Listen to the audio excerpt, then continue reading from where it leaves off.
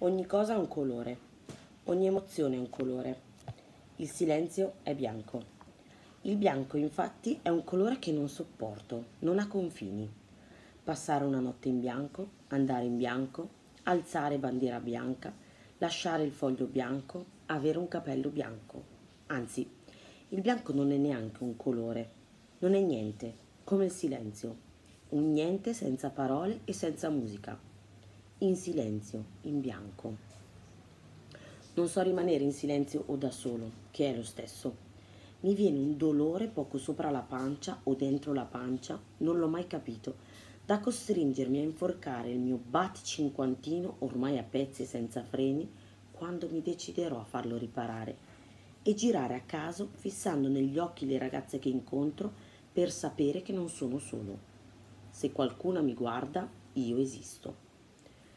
Ma perché sono così? Perdo il controllo. Non so stare solo. Ho bisogno di... manco io so di cosa. Che rabbia. Ho un iPod in compenso.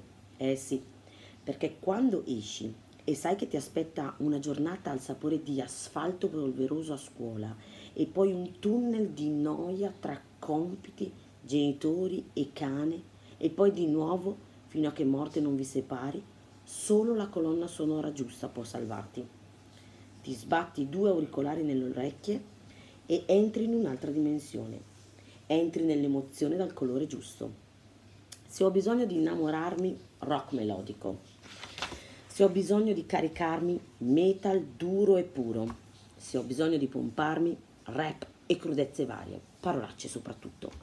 Così non resto solo, bianco c'è qualcuno che mi accompagna e dà colore alla mia giornata. Non che io mi annoi, perché avrei mille progetti, diecimila desideri, un milione di sogni da realizzare, un miliardo di cose da fare. Ma poi non riesco a iniziarne una che sia una, perché non interessa a nessuno. E allora mi dico, Leo, ma chi cazzo te lo fa fare? Lascia perdere, goditi quello che hai. La vita è una sola e quando diventa bianca il mio computer è il miglior modo per colorarla. Trovo sempre qualcuno con cui chattare, il mio Nick, Nick è il pirata come Johnny Depp. Perché questo lo so fare, ascoltare gli altri mi fa stare bene. Oppure prendo il bat cinquantino senza freni e giro senza meta. Se una meta ce l'ho, vado a trovare Nico e suoniamo due canzoni, lui con il basso e io con la chitarra elettrica. Un giorno saremo famosi, avremo la nostra band, la chiameremo La Ciurma. Nico dice che dovrei anche cantare perché ho una bella voce, ma io mi vergogno. Con la chitarra cantano le dita e le dita non arrossiscono mai. Nessuno fischia un chitarrista, un cantante invece se Nico non può, ci vediamo con gli altri alla fermata. La fermata è quella del bus davanti a scuola, quella alla quale ogni ragazzo innamorato ha dichiarato al mondo il suo amore. Ci trovi sempre qualcuno e a volte qualche ragazza. A volte anche Beatrice e io, alla fermata davanti a scuola, ci vado per lei. È strano.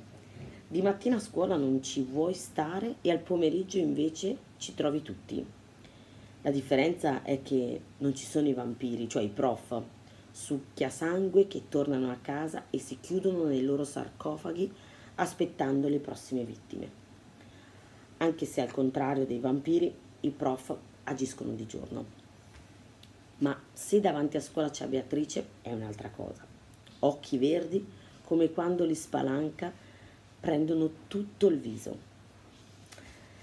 Capelli rossi che quando li scioglie l'alba ti viene addosso. Poche parole ma giuste. Se fosse cinema, genere ancora da inventare.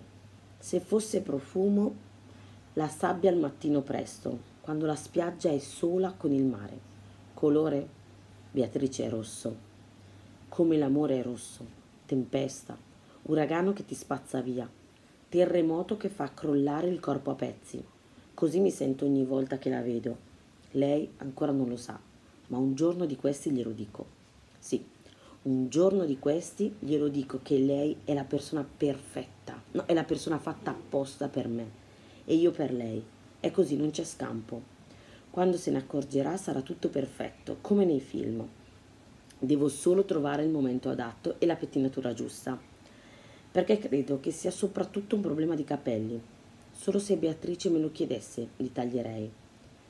Ma se poi perdo le forze come quello lì della storia, no, il pirata non può tagliarsi i capelli. Un leone senza criniera non è un leone. Il mio nome è Leo, mica per niente. Questo è l'incipit, letto un po' di merda, lo so, di Bianca come il latte e rossa come il sangue di Alessandro D'Avegna. Io eh, di Alessandro D'Avegna ho letto solo questo e cose che nessuno sa. Questo so che è un libro un po' che ha degli alti e bassi, non a tutti è piaciuto, alcuni l'hanno trovato un po' troppo infantile, un po' troppo semplice. Io invece l'ho trovato profondissimo eh, affronta una tematica davvero davvero importante e la, la tocca con delicatezza e forza allo stesso tempo. Ne è uscito anche il film che io non ho visto, non so se vorrò vedere, vedremo in un futuro prossimo, però io spero che tu possa recuperare, se ancora non l'hai fatto, questo libro. In caso fammi sapere cosa ne pensi qui sotto. Io ne avevo anche fatto una video recensione che trovi nella playlist dei libri ovviamente ti invito linkandoti qui sotto non solo il libro ma anche il, i canali dei miei amici youtuber che collaborano con me per gli incipit vai a spiare se ci sono incipit interessanti sui loro canali o altri video interessanti sui loro canali. E mi raccomando con un enorme enorme bacione ti do appuntamento al prossimo video. Ciao